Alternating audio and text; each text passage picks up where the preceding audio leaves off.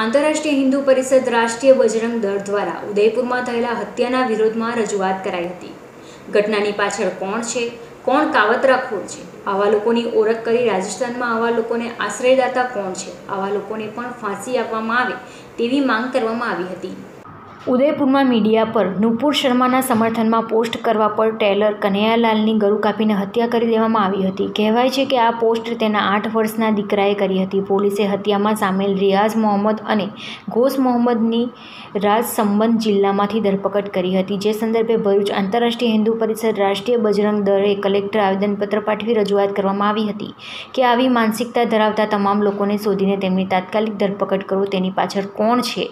કોણ કાવતરાખોર છે? આવા લોકોની ઓળખ કરી રાજસ્થાનમાં આવા લોકોના આશ્રયદાતા કોણ છે? આવા લોકોને પણ ફાંસી આપવામાં આવે અને તબલીગ જમાત અહેલે હદી અહલે હદીસ દાવતે ઇસ્લામ હત્યારાઓના સંબંધ દારૂલ ઉલૂમ દેવબાદ સાથે શોધી કાઢી આ કેસ ફાસ્ટ ટ્રેક કોર્ટમાં ચલાવી ફાંસીની સજા ફટકારી આવી જે આદિ માનસિકતા ધરાવતા તત્વોને ડામવાની માંગ સાથે આંતરરાષ્ટ્રીય હિન્દુ પરિષદ અને રાષ્ટ્રીય બજરંગ દળ દ્વારા ભરૂચ જિલ્લાના સમાહર્તાને આવેદનપત્ર પાઠવી માંગ કરવામાં આવી હતી आज रोज अंतर्राष्ट्रीय हिंदू परिषद राष्ट्रीय बजरंग दल की ओर से भरूच जिले के कलेक्टर को आवेदन पत्र देने के सुप्रत करने के लिए सब इकट्ठा हुए हैं कारण 28 छः 2022 के दिन दोपहर के पौने तीन बजे जिस प्रकार की घटना घटित हुई है उदयपुर में, उसके चलते जिहादी मानसिकता के लोग जिस प्रकार से कार्य कर रहे हैं, उसको प्रेरित ना होने के बावजूद जिस प्रकार के कार्यक्रमों को सूचित किया जाता है, उसके अनुसार